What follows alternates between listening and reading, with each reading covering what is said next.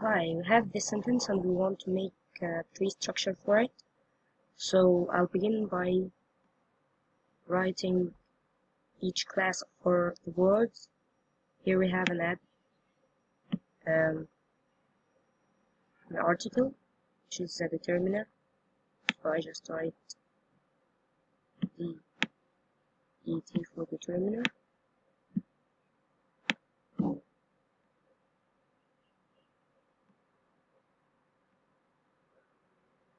And over here we have naval is an adjective. So we write a d j. Okay. Each word I will write for it its class. Okay here are the classes for each word. A is a determiner. It's an article. You can write article and then above it determiner, but you have to say it's a determiner. Then naval is an adjective, architect is a noun, is the verb, and a determiner.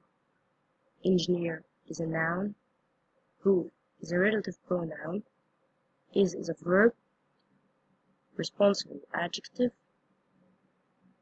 for is a preposition, that a determiner, Na um, design is a noun.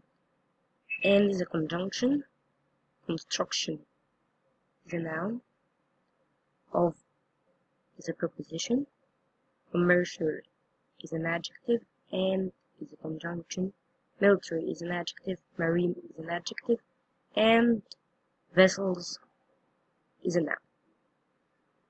After that, we look for the main verb in the sentence. So we can separate the sentence into a verb phrase and a noun phrase. The main verb here comes right after the noun phrase and a naval architect is here is. This is the main verb although we have another verb here but this is the main verb. So this will come in our verb phrase our main verb phrase. What we're gonna do now is make the main noun phrase so I will uh, connect these together.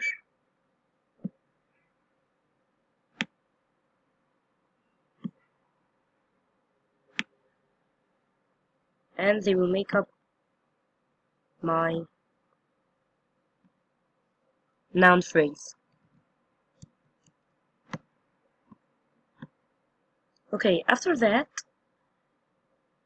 we look for the other phrases that we have other than the verb phrase because under the verb phrase we have a lot of things. Okay so take them one by one by one. If we see here we have the, ver the verb then the determinant then the noun and they are followed by a relative pronoun a relative pronoun gives me a whole other sentence. So, uh, the relative pronoun and what comes after it, all of this is another sentence, okay? So we'll leave it now. We'll go to the preposition, and for the preposition, uh, we will have a, a prepositional phrase, okay? So we can take do the phrases of the preposition first before anything else. Preposition for the design and construction of blah blah blah. Uh, so the preposition and everything that comes after it, they go under the prepositional uh, the prepositional phrase. So we have here the preposition comes under the prepositional phrase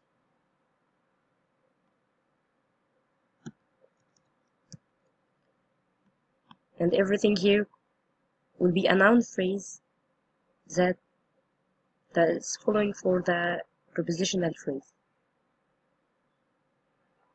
And we have another preposition so we have another prepositional phrase. So we can make another prepositional phrase like this.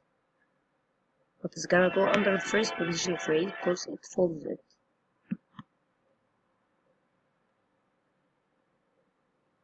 so here we will have another prepositional phrase okay now what we're gonna do is start from the top and write S.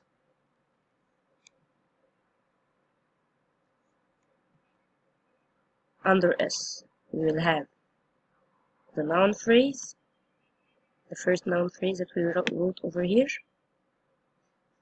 and we'll have a verb phrase.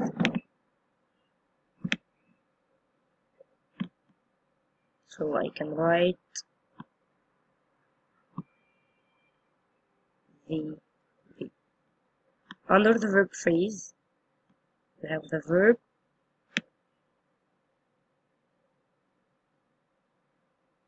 and we have a noun phrase. So I'm gonna make an arrow.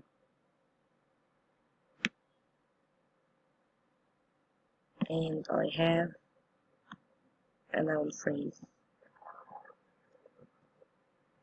My noun phrase is made of what? My noun phrase is made of the determiner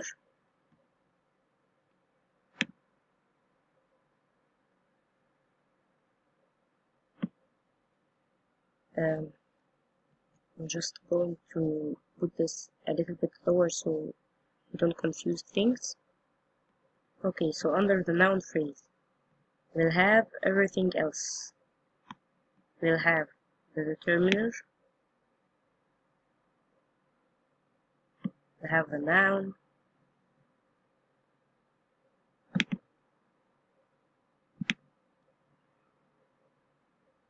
but we have something.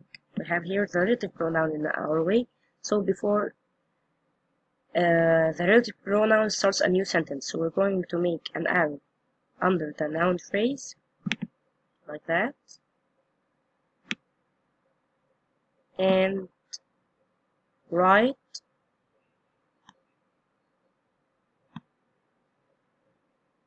S2 because we'll have another sentence the other sentence is also made of a noun phrase and a verb phrase. So we have to think where's the verb phrase? The verb phrase here starts with is and the noun phrase starts with the relative pronoun. So I'm going to make two arrows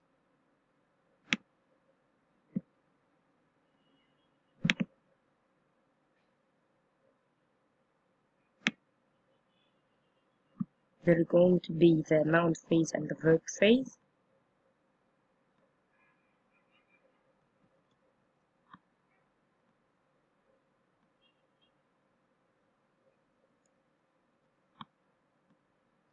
My noun phrase here is just the relative pronoun, so I'll just join it only with the relative pronoun. And my verb phrase is the verb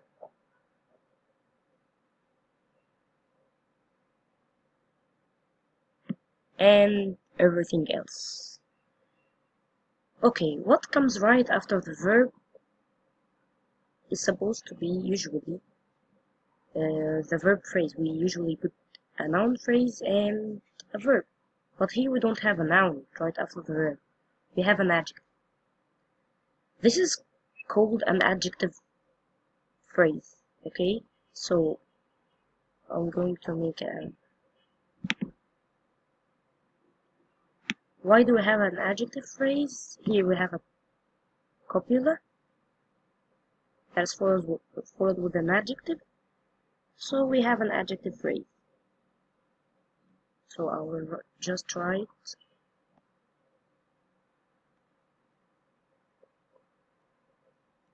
a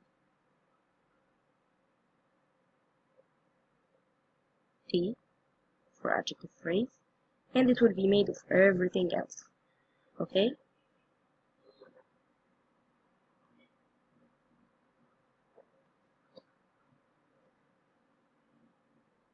Um, before we do the adjective phrase we can write the noun phrase for the prepositional phrase because each prepositional phrase has a noun phrase.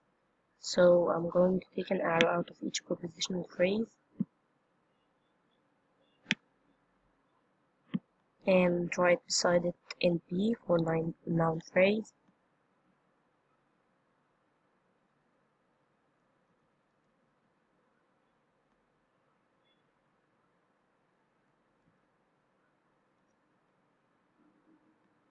Here the noun phrase is made of adjectives and conjunction and the noun, so I'll take arrows and put them in the noun phrase.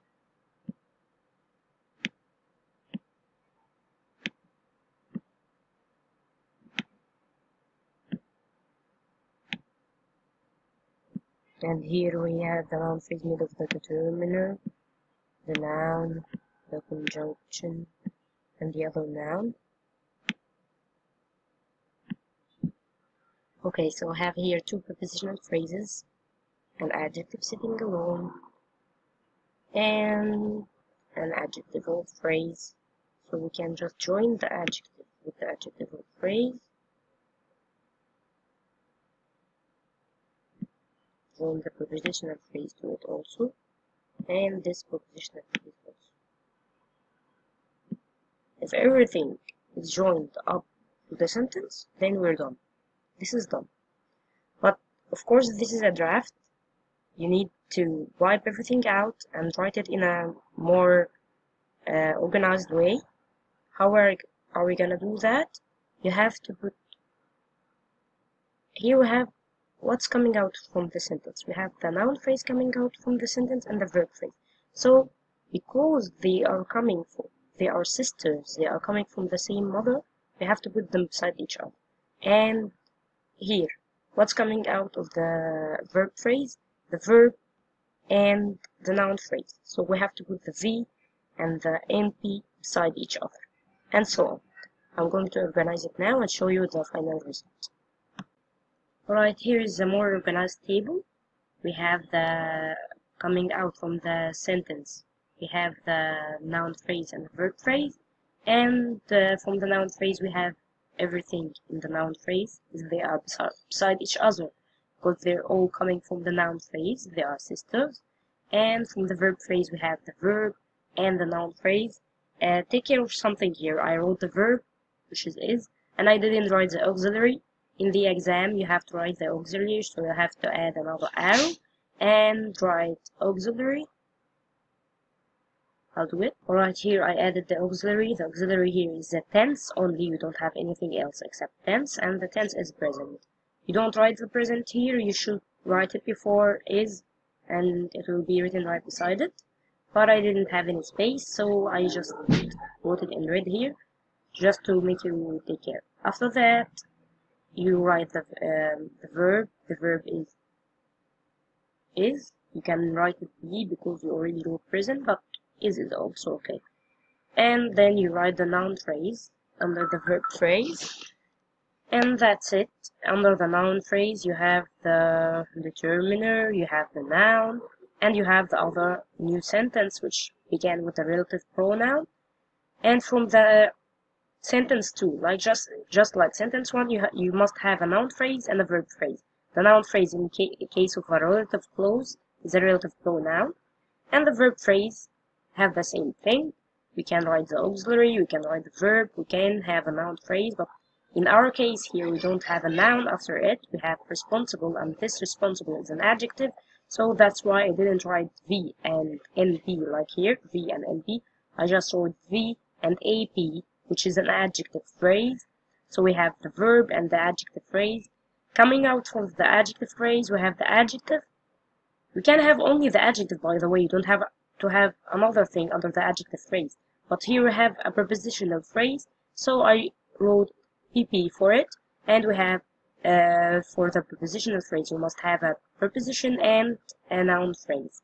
So I have the preposition. For the noun phrase, I didn't put it too much into detail, even though we have another prepositional phrase here, but uh, I just made a triangle here, this triangle shows me that everything under the triangle belongs to the noun phrase. And that's it. Just don't forget the auxiliary. And good luck.